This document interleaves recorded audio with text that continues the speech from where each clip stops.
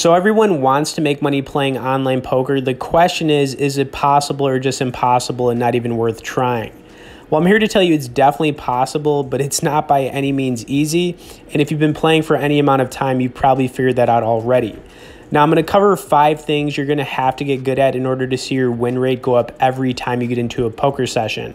I'm also going to be breaking down six hands here in Ignition Poker. And of course, if you guys are looking for any good online poker sites, definitely recommend Ignition.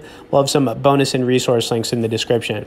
Okay, so the first thing I want to talk about is the limits you need to be playing. Now, this is extremely important, and I think a lot of people overlook this. Now, you should be playing games that are at least $100. If you're playing anything below that, it's going to be really hard to make a side income playing online poker. Now, the reason for that, you ask, well, you know, you only have so much time to play poker, and if you're playing low limits, you're just not going to make a whole lot. Plus, what I've found, you know, playing over the years is that, you know, the players that are playing the micro stake and low stake games are basically the same level of players at the mid stake games. Okay, the next tip is also a big one. Don't multi table more than two tables at once. Now, once you start playing three or four tables at a time, you're not going to be able to focus on what you're doing.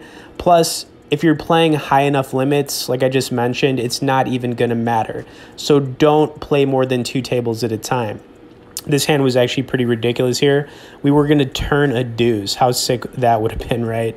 Okay, uh, the next tip here is also a, a, really good one, and it's something I've been doing for like the last two or three years, and it's really helped my win rate. And that's to keep your sessions when you're playing cash games between an hour to an hour and a half at a time, then quit for the day or take a break. So, playing online poker in spurts will give you an edge over the people sitting there playing for endless hours. And if you really think about this, um, maybe you played for like five, six, seven hours straight and you were doing really good in the beginning and then you ended up tilting off all your money and losing. You know, you need to give your brain a rest and take breaks. So I really got to reiterate this. Keep your sessions to an hour to an hour and a half at a time. Then take a break. Try that for a couple weeks and see what happens. I think you're going to see a really, you know, positive outcome from trying that. Okay, next would be to really focus on the hands you're playing. So you need to limit distractions as much as possible. This is another thing that took me years to get good at, but if you've got the TV on while you're playing, um, or whatever, you could be doing anything, honestly. Maybe you're playing video games while you're playing online poker. I've done that before. Uh, you don't want to do that. Uh, just focus on what you're doing for the time you're playing, and, you know, good things are going to happen. Now, finally, you're going to have to get good at putting people on ranges of what they have. Now, this is something that comes with experience of playing, you know, hundreds of thousands of hands. But, you know, the skill, when you develop it, it's going to pay dividends long term. So eventually, just after playing so many hands, like I said, you're just going to get an idea of what your opponent has based on his pre flop play, his flop play with different board textures. So, you know, just to kind of recap on all these, you know, the first thing would be play high enough limits to make it worth it where you can make a side income. Don't play any games lower than $100. Don't multi table more than two tables at once. Two tables is perfect, especially if you're playing high enough limits. Uh, the next tip is to just keep your sessions between an hour to an hour and a half at a time and then take a break. That's huge. Limit distractions and focus on the hands and games you're playing and then start to get good at putting people on ranges of what they have, right? That's uh these are all big things. I mean, I could give you even more tips. It's just that you have to get good at each one. And online poker, it's like a it's like a game, right? Like you're going to level up the more you play and you know you're not going to see the results unless you're playing all the time okay anyways uh, feel free to chime in too below in the comments if you have any questions about any of those tips this hand was pretty ridiculous. All right, so I had a 7 5 suited. I love playing this hand. I think it was uh, the hand in Casino Royale.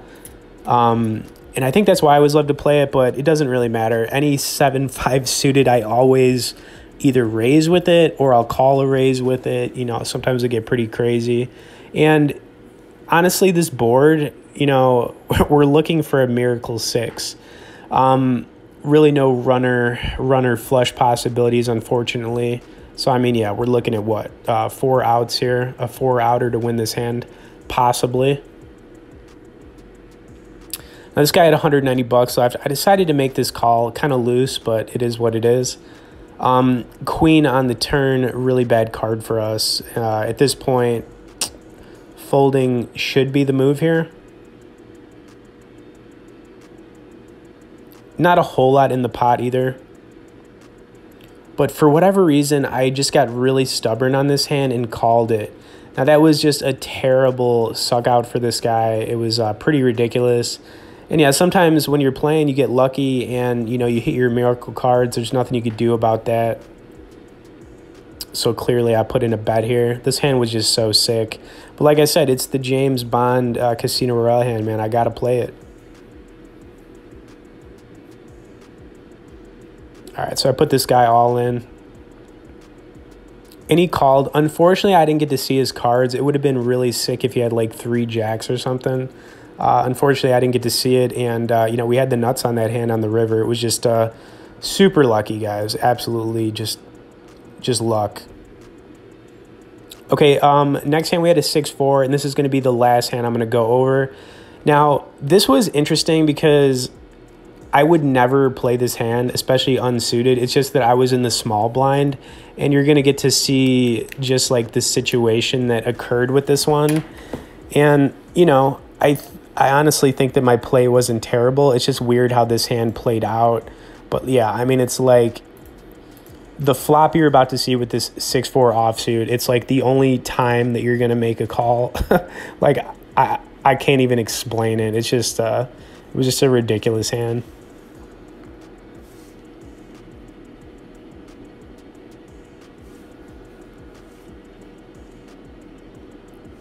All right, so we had a limp. All that guy had to do was raise, and I was definitely out of this hand. And it's going to end up costing him for sure.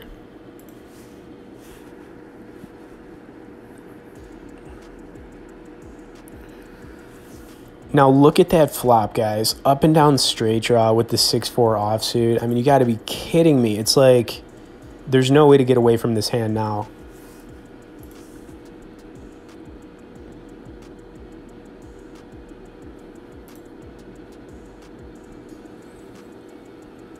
All right, this guy uh, basically bet it. I had to make the call here. Thank God that player folded. I didn't really want to see it, but somehow we won with a pair of fours, uh, which was just absolute craziness. Okay, anyways, I hope you guys enjoyed this. Uh, subscribe to the channel for more poker content.